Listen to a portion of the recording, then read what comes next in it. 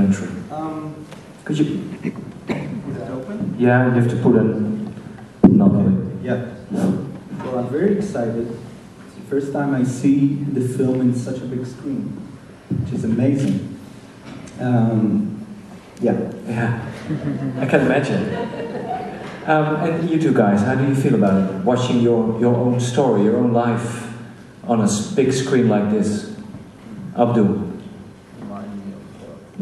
remind me of, of uh, my life, remind me of my hometown. Um, it's just very interesting and touching. But I'm excited to see, I'm very happy to see all those people that, attend to Voice of Hope. Thank you, guys. that. Mm. And, and Louie, you, you, don't speak English very well, so I'll ask Arif to translate uh, the question. Um, what did you think when you saw your own story on the big screen?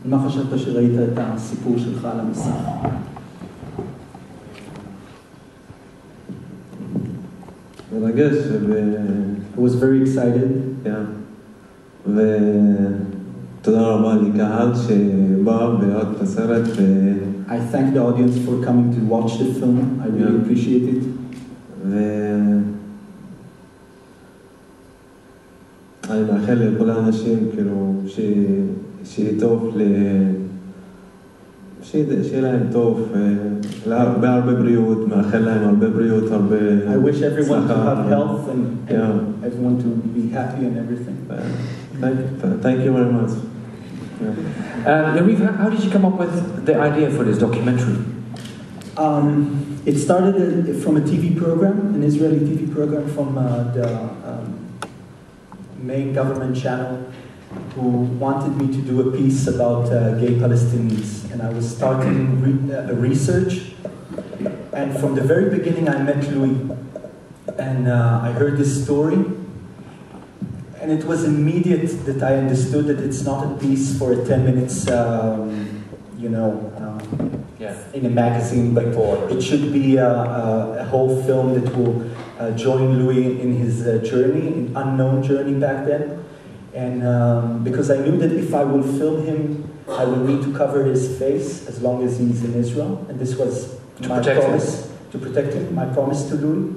And um, so I took a risk doing the film because uh, if he would, wouldn't get an asylum, and an asylum process is not an easy thing, then uh, I wouldn't have a film. Was it difficult to convince Louie to, to participate in your film? Maybe Louis should have answered this. Uh, האם זה היה קשה לשכנע אותך להשתתף בסרט?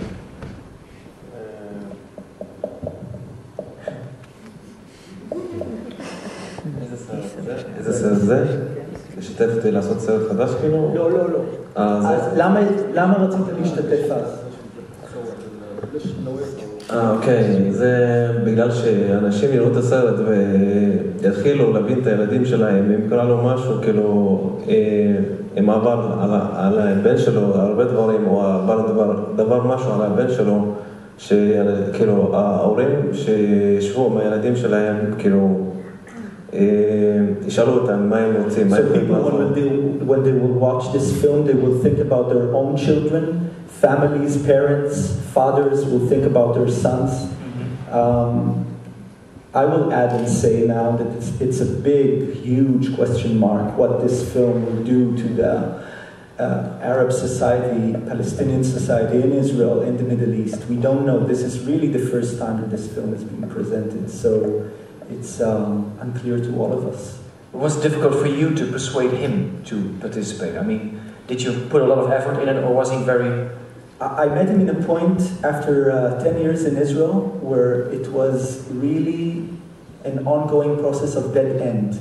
He was in and out of jail, he was uh, constantly being uh, deported back to Palestine, and he uh, uh, ran away back. And people, it was very. His life in Israel was uh, very hard. And although he had people who were helping him, um, it was very difficult. And the guy from the LGBT, um, mm-hmm.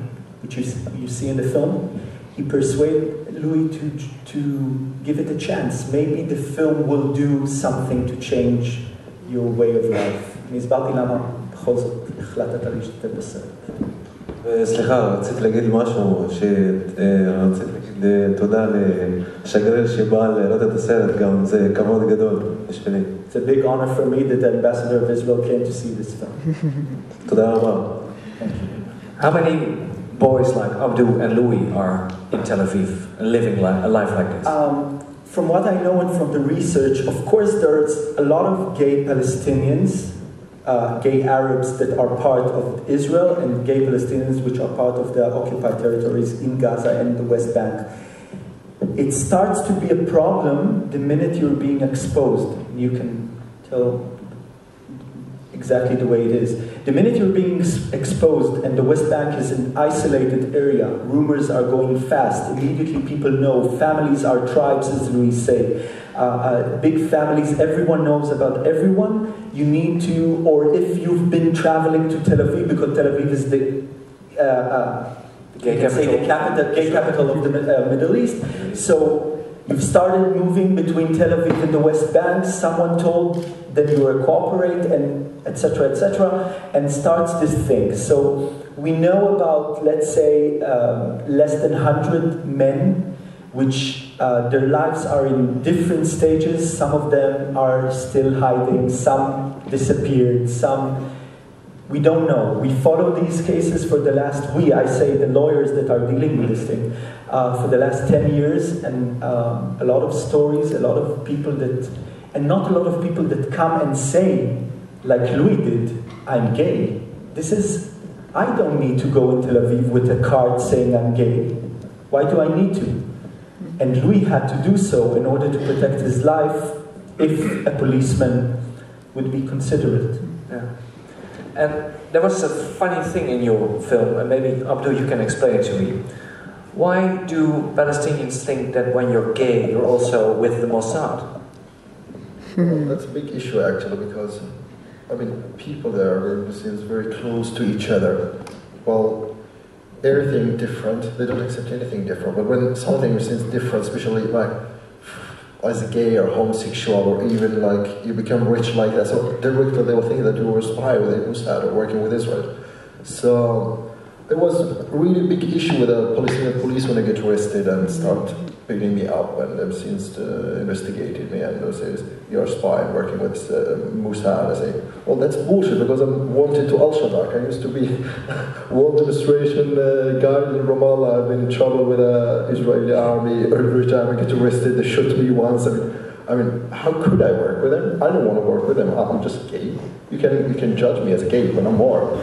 But if they're gonna send me to the Palestinian court, you throw the laws, the Palestinian laws, the rules. There's nothing against homosexuality, or they didn't mention anything. So they need something. They, they want to form to force me to to find something else to judge me. You understand? In a way, okay, we cannot prove that he's gay. We don't have anything uh, uh, the law against him, but we can call him a spy or, or a, a Mossad worker, so we can judge him and really hit him and, and, and hurt him. So that's the, the, the point.